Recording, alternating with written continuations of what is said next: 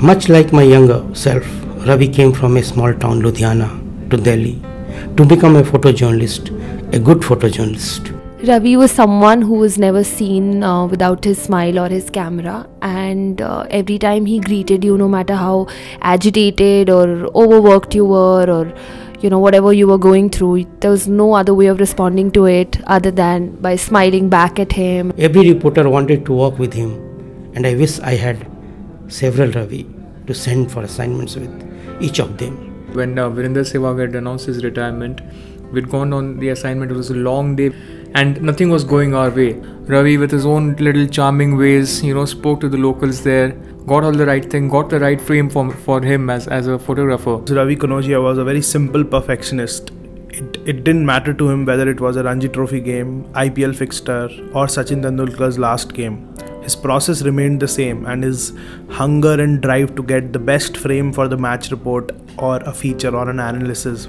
It was just just very inspiring the way he used to go about on the field, getting that extra shot and something which which we wouldn't find on other publications. What I remember most about Ravi is his ability to get things done. He used to climb to all crazy places, get like angles which no one even th- thought of getting.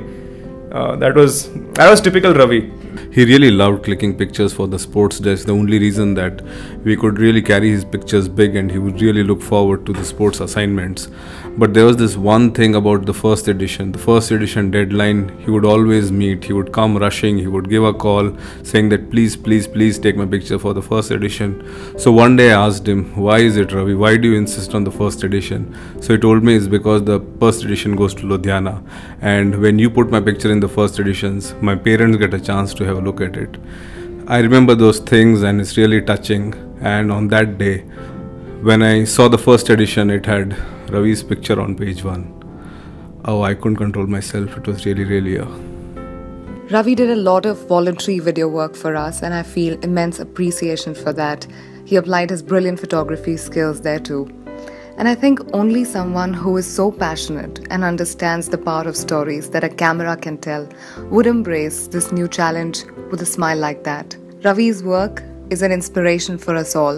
It makes you want to strive for excellence, and I'd say it makes him immortal. Nabrangpur was uh, Ravi's last big assignment, and so when we were there, um, I would ask him if he was hungry because we had to travel a lot, and he would say, "नहीं काम हो जाए बस खाने का कोई tension नहीं." What struck me about uh, Ravi was how professional he was uh, in the most difficult situations, and and and we, he once had to drive a car through a road that didn't exist almost. It was uh, it was a completely dug out road, and he, he took over from the driver. The driver said he couldn't drive any further, and he just drove the car, and he did all of it smilingly. He, he, he never complained once. He had been transferred from Ludhiana to Delhi, and since then, 2009 to 2016, seven years, we became great friends. We became great colleagues.